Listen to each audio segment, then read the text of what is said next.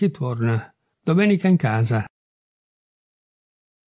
Ogni mattina di domenica, in estate, scosto la tenda della finestra per osservare l'alba che scende furtivamente su un campanile di fronte alla mia camera. Inizia a risplendere per prima la banderuola sul tetto, poi un più lieve riverbero fa svettare l'aguglia e si diffonde sulla torre, facendo brillare come oro la lancetta del quadrante che indica la cifra dorata dell'ora.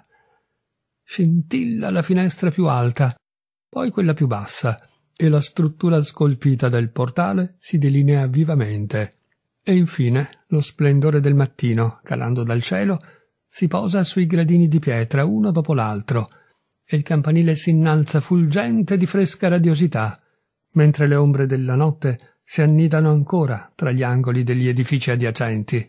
E anche se è lo stesso sole che lo illumina ogni limpido mattino, a me sembra che il campanile indossi, per la domenica, un abito particolare di fulgida luce. Chi abita accanto a una chiesa ben presto sviluppa un particolare sentimento per questo edificio. Istintivamente lo personifichiamo Immaginiamo che nelle sue massicce mura e nel suo fioco interno sia insito uno spirito sereno, pensoso e un po' malinconico. Ma il campanile si erge ancor più nei nostri pensieri, oltre che nel paesaggio circostante.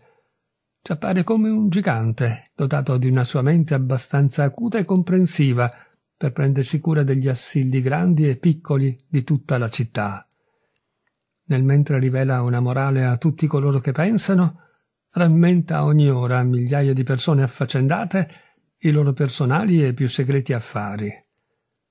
Ed è ancora il campanile che propaga i rintocchi affannosi e irregolari dell'allarme generale. Le ore liete e festose non trovano espressione migliore nella sua voce, e quando i defunti trapassano lentamente nella loro casa, il campanile usa una voce malinconica per dar loro il benvenuto. Eppure, nonostante questo suo rapporto con le vicende umane, quale solitudine morale aleggia nei giorni feriali intorno alla sua imponente altezza.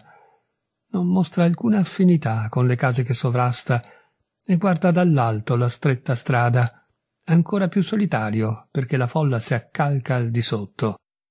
Uno sguardo all'edificio della chiesa approfondisce questa sensazione. All'interno alla luce di lontane finestre e tra ombre spezzate, distinguiamo i banchi vuoti, le navate deserte, l'organo silenzioso, il pulpito senza voce e l'orologio che racconta alla solitudine come sta passando il tempo, il tempo che non è vissuto dall'uomo, che altro è se non eternità.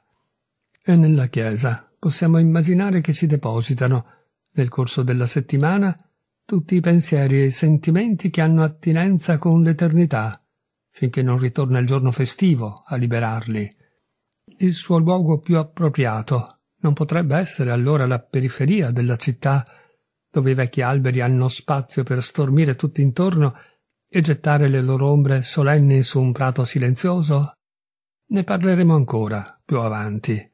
Ma nel giorno festivo guardo i primi raggi del sole, e immagino che un più santo splendore segni la giornata quando non ci sarà più brusio di voci al mercato, né trambusto nei negozi, né folla, né alcun'altra attività che in chiesa. Molti altri l'hanno immaginato.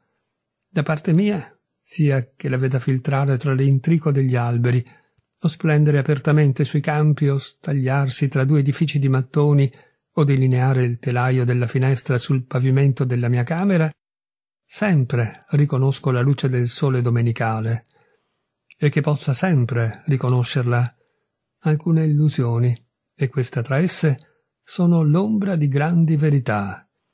I dubbi possono volteggiare intorno a me o chiudere le loro ali maligne per posarsi, ma finché immagino che la terra è santificata e che la luce del cielo mostra la sua santità nei giorni festivi, quando quella luce benedetta del sole vive dentro di me, la mia anima non potrà mai perdere l'istinto della sua fede.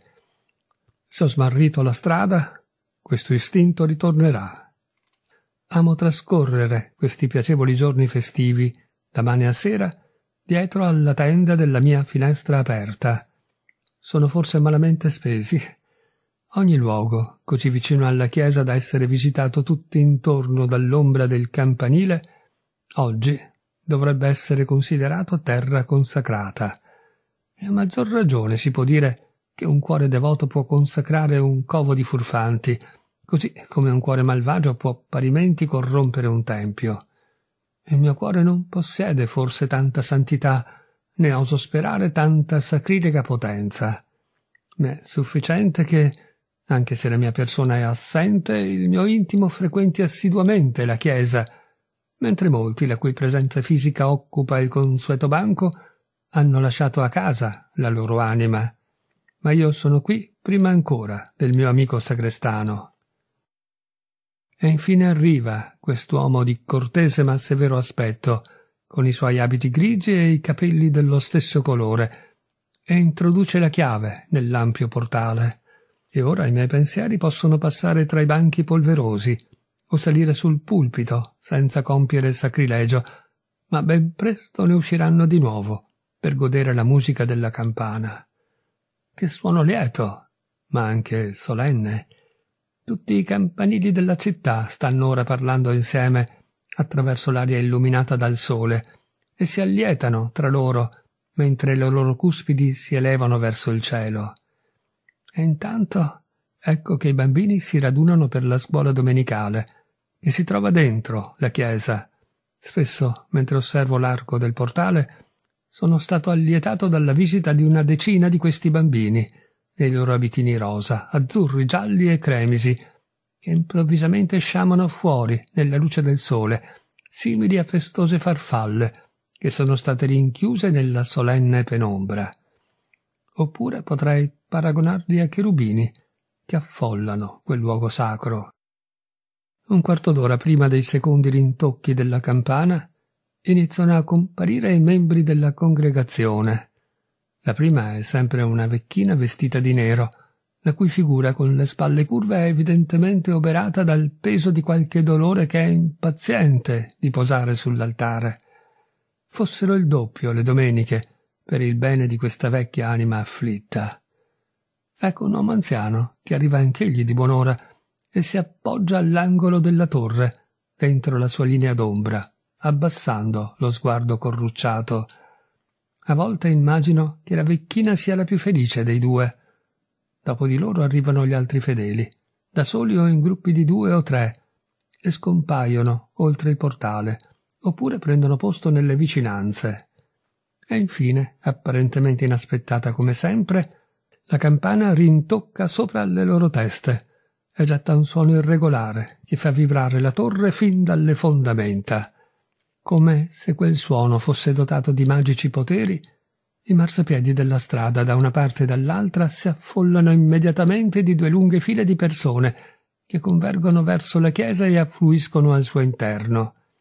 Forse questa è l'eco lontana di una carrozza che si avvicina, un rombo ancora più profondo in contrasto col circostante silenzio finché scendono davanti al portale, tra i loro più umili fratelli, i fedeli facoltosi. Oltre a questo ingresso non esistono in teoria distinzioni di rango terreno, né il sontuoso abbigliamento, foggiato alla luce del sole, apparirebbe tale all'interno.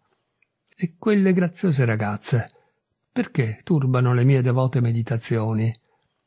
Tra tutti i giorni della settimana Proprio la domenica dovrebbero sforzarsi di apparire meno appariscenti, anziché accrescere la loro mortale bellezza come per rivaleggiare con gli angeli e distogliere i nostri pensieri dal cielo. Fossi io il pastore, dovrei necessariamente guardare. Una ragazza indossa bussola bianca dalla cintola in su e seta nera fino alle scarpette.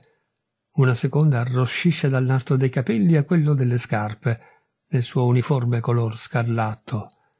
Un'altra splende d'un giallo smagliante, come se indossasse la luce del sole. La maggior parte ha però scelto tonalità più attenuate di colori. I loro veli, soprattutto, quando il velo li solleva, conferiscono leggerezza all'effetto generale e le fanno apparire eterei fantasmi quando scivolano su e giù per i gradini e scompaiono oltre la scura soglia anche se è davvero strano che io lo sappia, indossano quasi tutte calze bianche, candide come la neve, e graziose scarpine allacciati di traverso, con un nastro nero un po' sopra alla caviglia.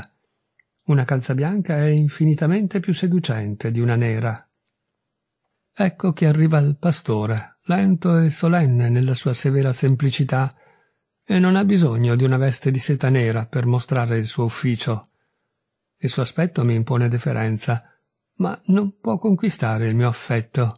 Se dovessi rappresentare San Pietro che tiene chiuse le porte del cielo, guardando accigliato, più severo che pietoso, i miseri postulanti, mi ispirerei a quel volto.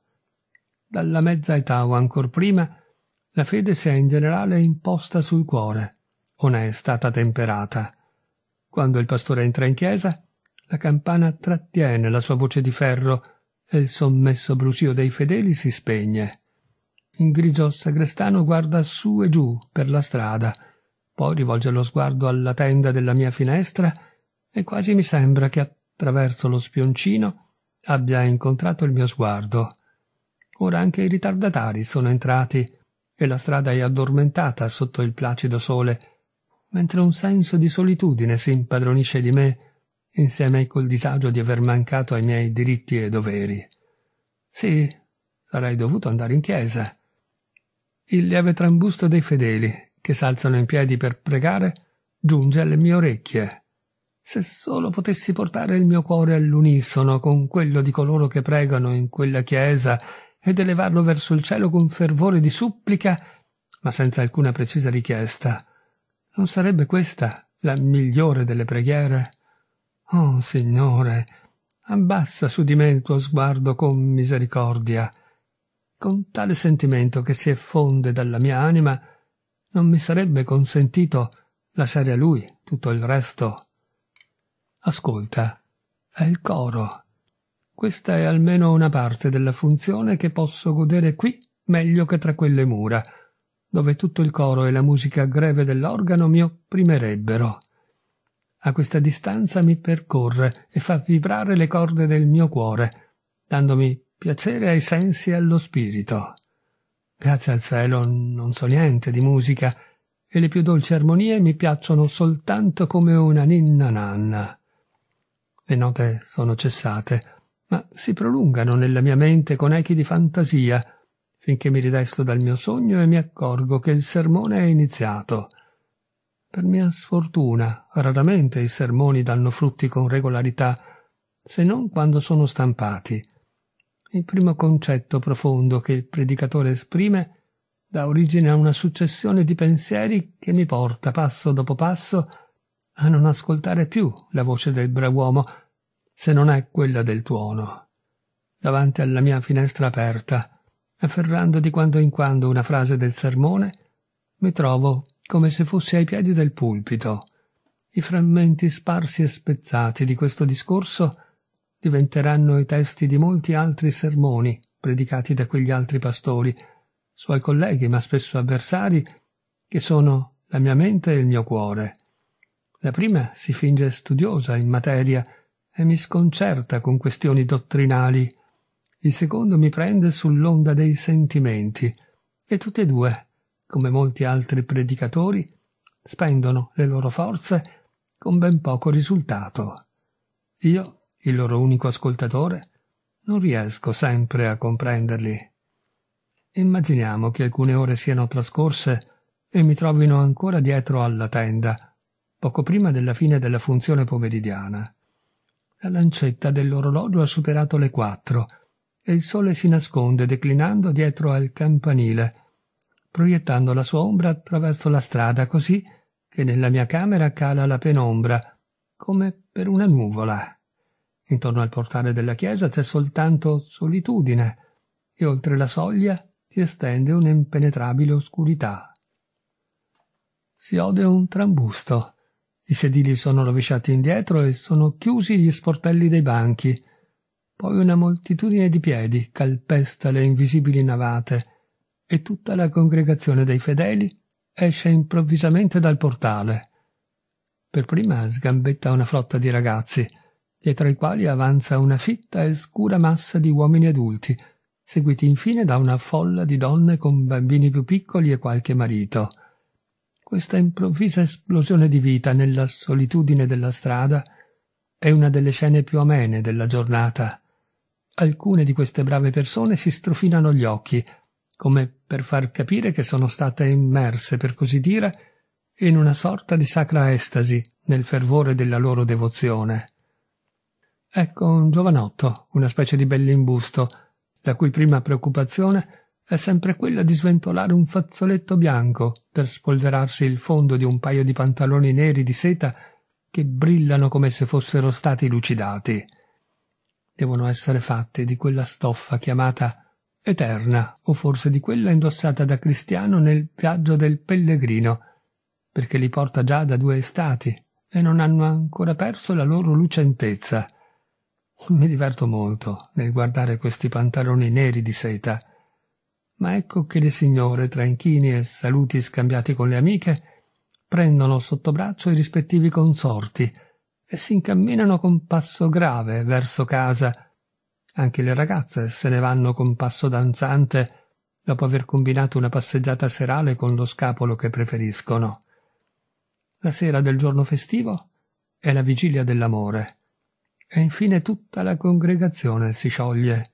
No, ecco che con volti lucidi come di seta nera, s'avanzano due dame scure, accompagnate da un gentiluomo altrettanto scuro, e subito dietro loro il pastore, che ammorbidisce la sua severa espressione per rivolgere una cortese parola ad ambedue.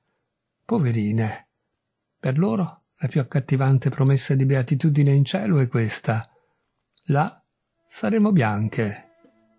Ora regna di nuovo la solitudine ma si ode poi un cinguettio spezzato di voci e al loro dolce suono si accompagnano, nella loro grandiosità, le solenni note dell'organo. Chi sono i coristi? Lasciatemi immaginare che gli angeli, discesi dal cielo in questo felice mattino per mescolarsi al culto delle anime buone, stiano suonando e cantando per congedarsi da questa terra e sulle ali di quella dolce melodia stiano risalendo in cielo. Questo, gentili lettori, è soltanto un volo poetico. Alcuni uomini e donne del coro si sono attardati in chiesa e hanno alzato le loro voci, accompagnandosi con qualche distratta nota dell'organo, eppure hanno elevato il mio animo più che con tutte le precedenti melodie. E ora se ne sono andati, questi figli della musica, e il grigio sacrestano sta chiudendo il portale. Per sei giorni non comparirà volto umano tra i banchi, nelle navate, nelle gallerie, né si alzerà una voce dal pulpito e musica dal coro. Valeva forse la pena di erisere questo imponente edificio per farne un deserto nel cuore della città e popolarlo soltanto per alcune ore il settimo giorno? Sì, la Chiesa è simbolo della religione, e il suo luogo, che è stato consacrato il giorno in cui è stato abbattuto il primo albero, possa essere conservato sacro per sempre, luogo di solitudine e di pace, tra gli affanni e le vanità del nostro mondo dei giorni feriali. Si può sentire una morale, e quindi anche una religione, perfino tra quelle mura silenziose. E il suo campanile possa svettare sempre verso il cielo ed essere rivestito della santa luce del sole della domenica mattina.